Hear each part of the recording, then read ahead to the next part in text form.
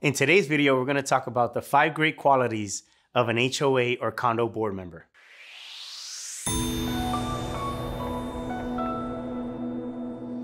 So what are the five great qualities that we find in our board members or even board members that we meet with?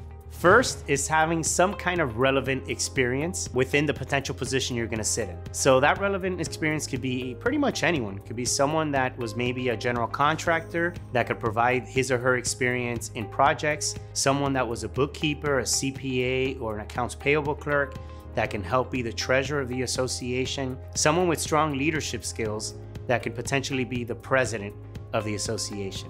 So having relevant or some kind of experience is always a great quality for a board member. The next quality is leading with transparency and integrity. So being an association board member, you wanna be as open with your members as possible and provide the information that's necessary so that the membership understand where they are at every single moment. The third quality is willing to serve.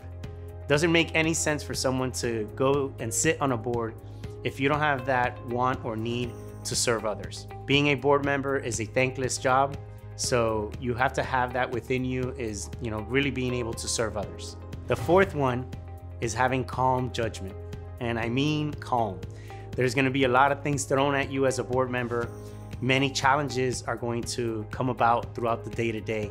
And while you'll have partners to guide you throughout the process, you need to remain calm when you're making your decisions and also when you're leading the rest of your board of directors. And last quality and not least is having people skills. It's great to have people skills when you're sitting on a board of directors because you're dealing with so many different individuals when you're managing a community association. You're not only dealing with your residents, but most likely you'll be dealing with a management company, their partners, you'll be dealing with landscaping vendors, and you'll be dealing with an array of individuals that service your community.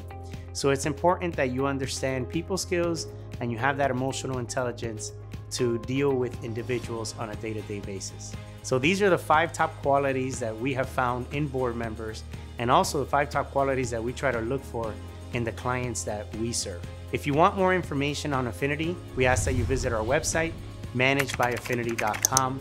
We have a ton of education, ton of videos there and information for you to gain additional knowledge and be the best board member that you can for your community. If you've liked this video, make sure you give us a thumbs up and subscribe to our YouTube channel as we have weekly videos coming up.